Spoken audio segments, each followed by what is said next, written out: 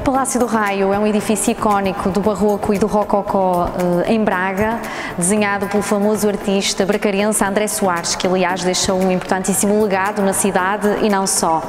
Com mais de 250 anos de história, o Palácio do Raio, conhecido também como Casa do Mexicano, foi mandado construir pelo rico comerciante João Duarte Faria e Silva entre 1752 e 1754. Estamos a falar de um património com mais de 500 anos de história que destaca o importante papel social da instituição na prática das obras de misericórdia e no apoio à sociedade.